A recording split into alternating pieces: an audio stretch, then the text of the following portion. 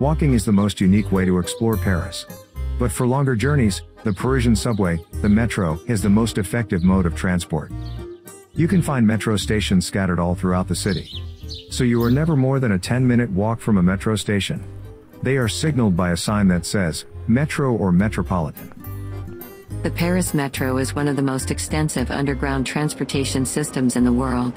So if you're visiting Paris for the first time or if you're not too familiar with this system, it can be a bit intimidating. Let's have a quick tour in order for you to figure it out better.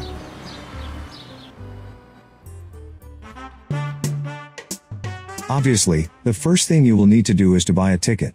You will find vending machines in every stations where you can buy some. The vending machines are quite user-friendly. Choose your language, use the touchscreen and follow the instructions. You can pay with coins, notes or credit cards. There are different types of tickets you can buy, but we recommend the Ticket T+. Ticket T Plus can be used on metros, RER, tramways, buses and even the Montmartre funicular should you decide to visit the Sacré-Cœur. At the time of writing, it costs €1 Euro and 90 cents and you have the option to buy a pack of 10 for 16 euros and 90 cents which is a slight discount. Also, tickets can be bought at kiosks where a receptionist can assist you. Give you free printed maps of the metro, or advise on how to get from one place to the other, but be aware that not all the stations have a kiosk available. One metro ticket is valid for two hours. You can make as many transfers as you need, but as soon as you leave the metro system, you won't be able to get back in without paying for another ticket. You can also purchase tickets at tobacco shops or newsstands. If you plan on using this mode of transport often, you can purchase an unlimited travel pass for 1, 2, 3, and 5 days. But generally, it makes more sense financially to purchase the pack of 10. Finding your way around in the metro can be quite intimidating at first, but if you follow these easy steps, you should be perfectly fine. Every line runs in two directions. The name of those directions are named after the final stop. For example, if you look at line 1, it has two ending stops. Chateau de Vincennes and La Défense. So the train Chateau de Vincennes is heading in the direction Chateau de Vincennes, and the, the train La Défense is heading in the direction of La Défense. Easy. It's really easy to mix things up and go the wrong way, so if there is one thing you have to remember to make sure to get on the right train, is to know the last stop. Be careful, because if you find yourself in the wrong direction, in most stations you won't be able to cross over for free. You will have to purchase a second ticket to change a platform unless you have a pass. So always make sure to check the names of the train displayed on the signs which are usually hanging from the ceiling.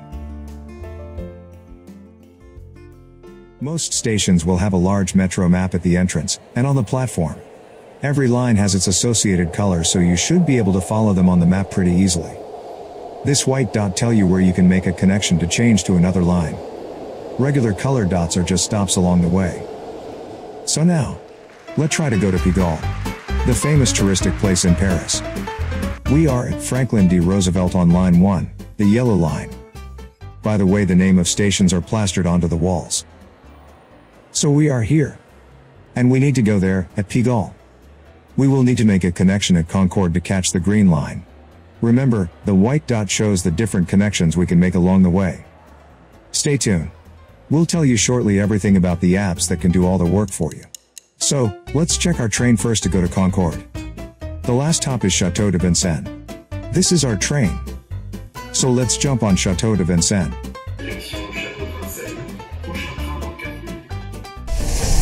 Concorde. Now we need to catch line 12. The green line.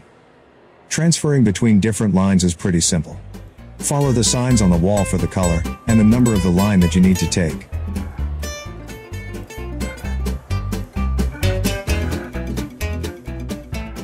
Aubervilliers. This is our train. Let's jump into the train to Pigalle.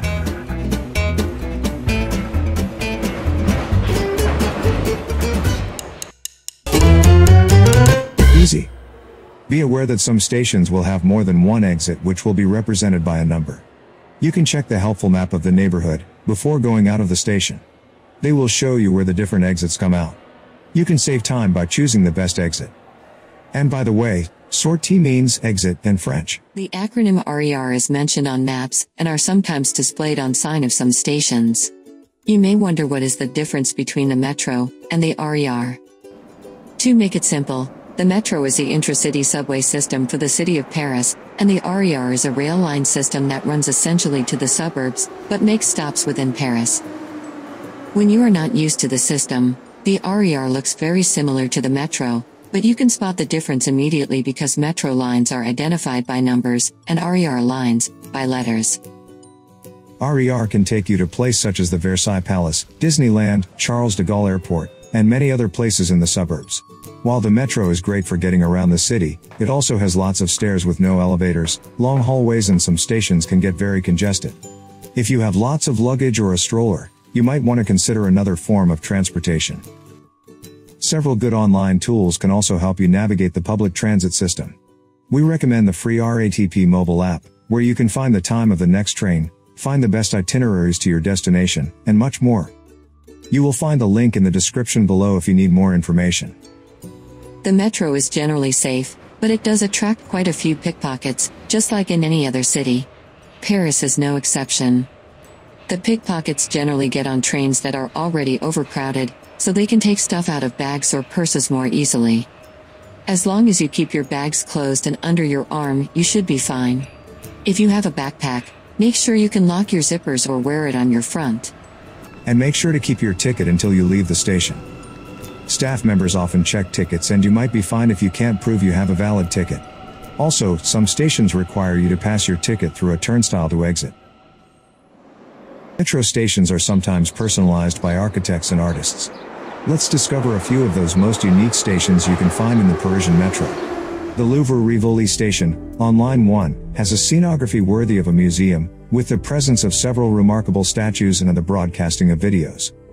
Explanations are also available in case you want to know more.